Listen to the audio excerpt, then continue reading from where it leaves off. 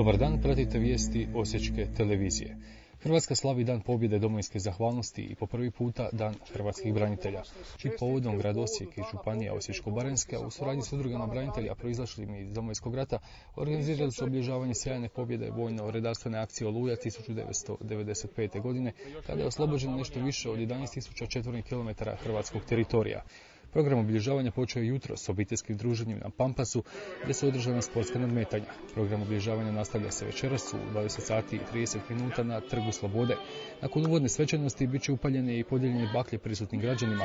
Povorka na čelu s pripadnicima Hrvatskog Sokola, vojske i policije krenut će strgat prema bastionu u tvrđi, gdje će se baklje odlagati u postolje u obliku križa napunjeno pijeskom. Program će završiti velikim vatrometom. Katolici danas slave blagdan Gospe Snježne. Mnogo je osjećana jutros došlo u Donjogradsku kapelicu proslaviti blagdan Gospe.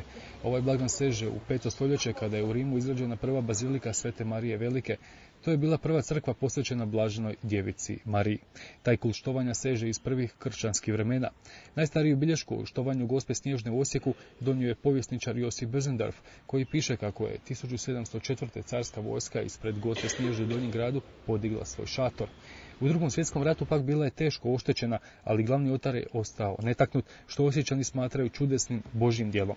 Za vrijeme župnika Pavla Matijevića 1949. godine kapelica je skrobno obnovljena.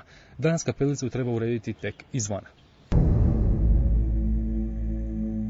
Dočekali smo promjenu cijene naftnih derivata koji su ovoga puta pojeftinili između 38 i 50 lipa po litri. Tako je nova cijena Supera 95 8,80 kuna po litri, Euro Supera 95 košta 9,04 kune, a litra Supera plus 98 goriva stoji 9,13 kuna.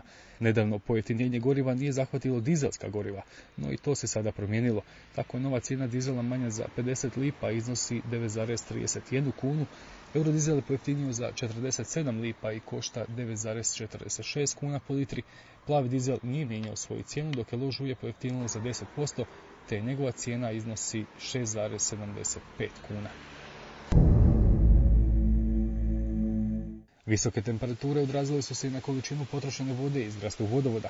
Ovih dana troši se i do 700 litara vode u sekundi.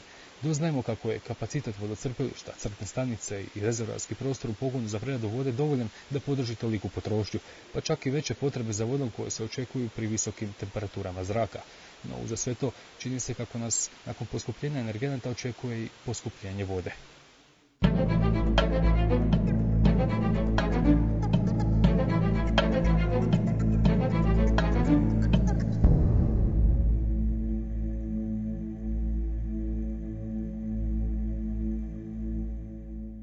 Danas je unutrašnjosti bilo umjereno do pretežno oblačno, povremeno s kišom, ponegdje i grmljavinom.